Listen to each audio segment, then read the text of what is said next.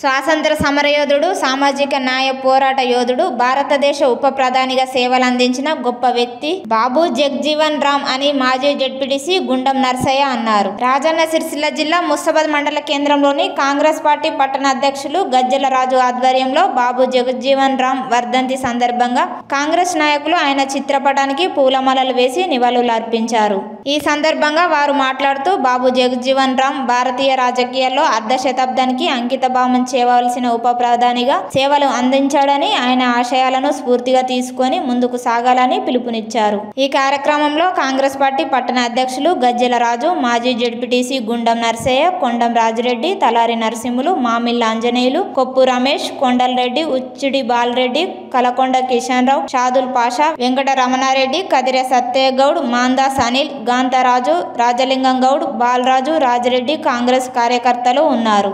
చెప్పక తప్పదు. అటువంటి అటువంటి అభ్యుదయ భావాలు గల వ్యక్తి ఈ రోజుల్లో ఇక జగజీవనరావు గారి వర్ధంతి కార్యక్రమాన్ని కాంగ్రెస్ పార్టీ కార్యకర్తల మధ్యలో జరగడం చాలా సంతోషం. బాబు జగ్జీవన్ రావు గారు చాలా గొప్ప ఆలోచన ఉన్నటువంటి వ్యక్తి. వారు ముఖ్యమంత్రిగా చేశారు. వారు ఉప ప్రధానిగా చేసినటువంటి గొప్ప వ్యక్తి. వారి ఆశయాలు ఏవైతే ఉన్నాయో వారి ఆశయాలను గుర్తు చేసుకొని వారి బాటలో నడిచే విధంగా సమాజం కూడా ఉండాలి. ఎందుకంటే అంత గొప్ప మహానీయుని గుర్తు చేసుకొని వారి ఆశయాలను కొనసాగించాలని ఈ వర్ధంతి సందర్భంగా మేమందరం కూడా మనస్ఫూర్తిగా కోరుకుంటా ఉన్నాం. ముస్తాబాద్ మండల కేంద్రంలో మండల కాంగ్రెస్ పార్టీ ఆధ్వర్యంలో బాబు జగజీవన్ రావు గారి వర్ధంతి వేడుకలు ఘనంగా నిర్వహించుకోవడం జరిగింది.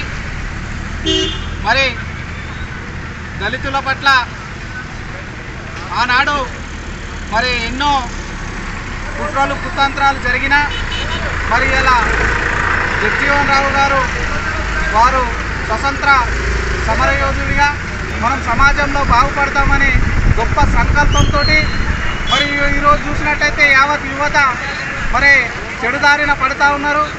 ఇటువంటి బాబు జగ్జీవన్ రావు లాంటి వాళ్ళ సూచనలు వారు చేసిన సంఘ సంస్కర సంఘ సంస్కరణలను దృష్టిలో పెట్టుకొని మంచి బాటలో నడవాలని కోరుకుంటూ ఈరోజు ముస్తాబాద్ మండల కేంద్రంలో మరి వారి వర్ధంతికి వారికి ఘనంగా నివాళులు అర్పించడం జరిగింది.